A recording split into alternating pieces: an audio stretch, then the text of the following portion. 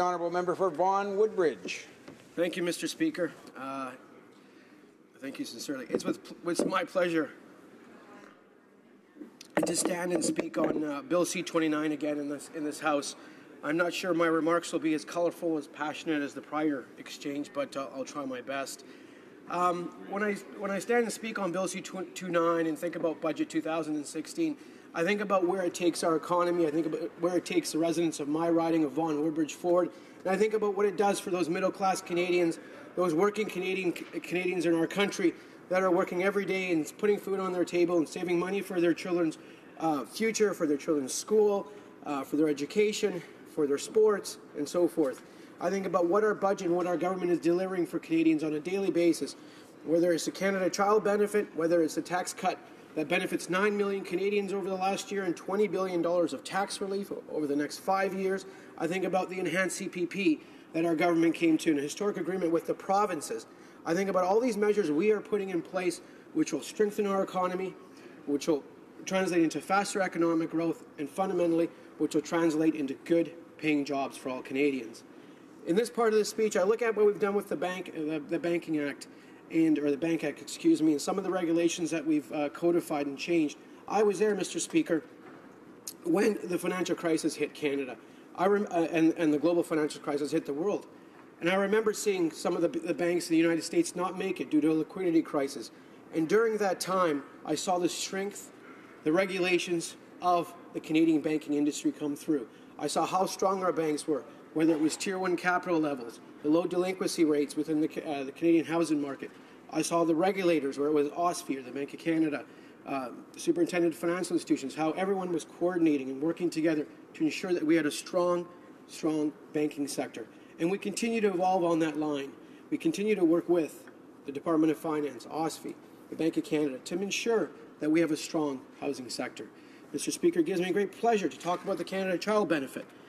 That helps nine out of every 10 Canadians, Canadian families, $2,300 a month extra, uh, excuse me, a year extra that Canadian families will receive. How it will lift 300,000 children out of poverty in Canada. That's something that I think all my colleagues should applaud, and all colleagues from all parties should vote for. I'm surprised they haven't, and they don't. Um, Mr. Speaker, the CCB is transformational. The CPP enhancement is, is historic. The tax cut to the middle class Canadians is a centerpiece.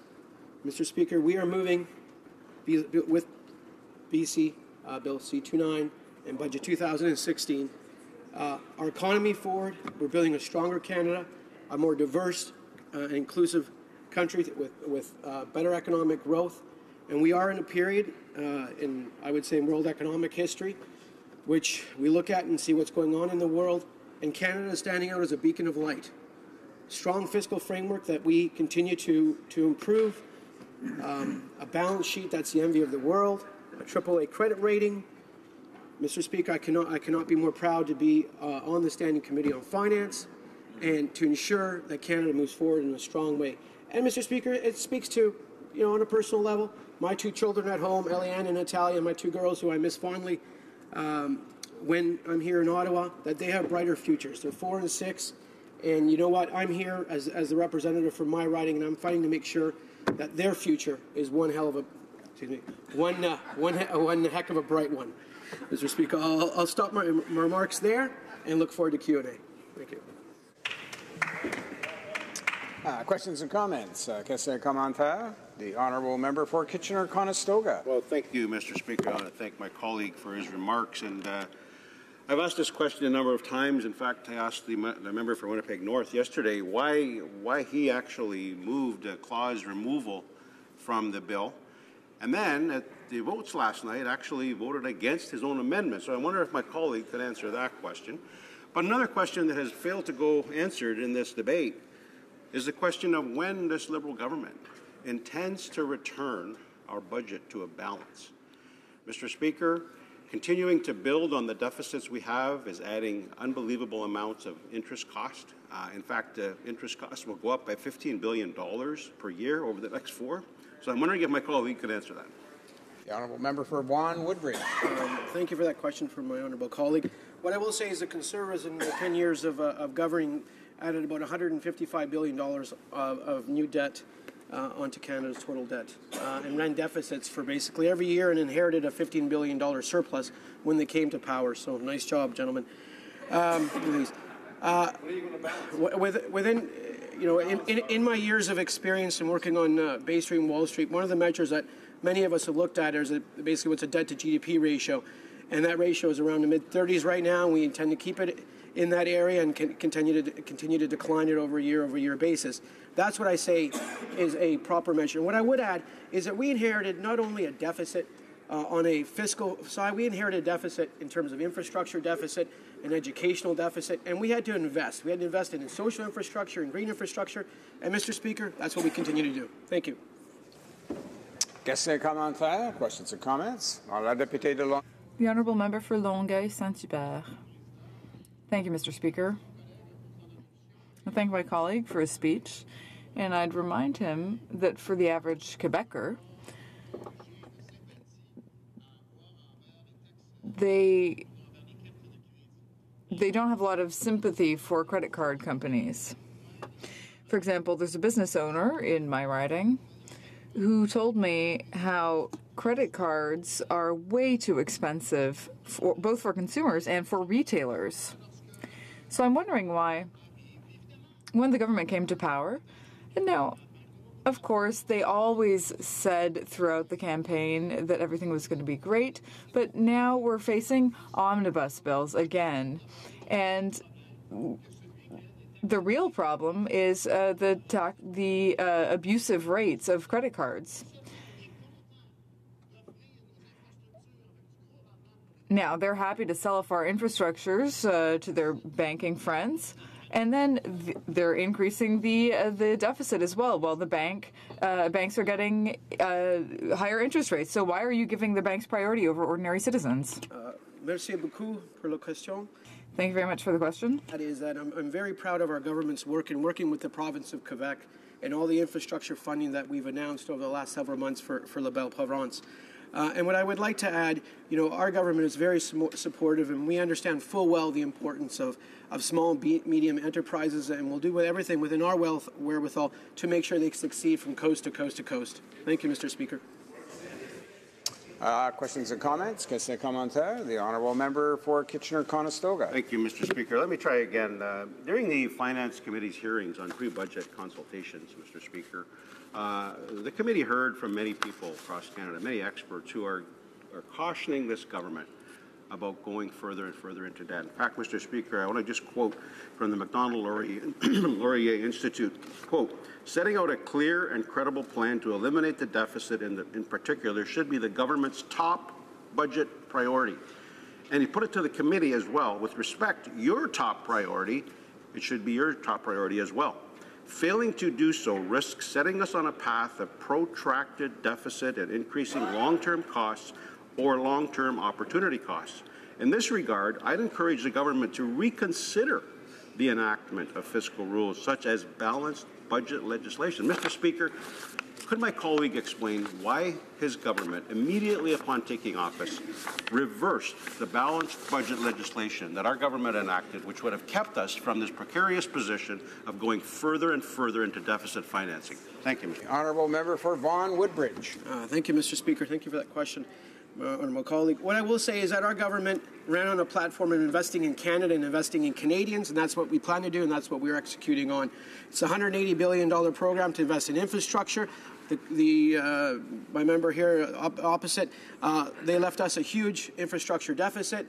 We are looking at the world environment. We have a period of very, very low interest rates.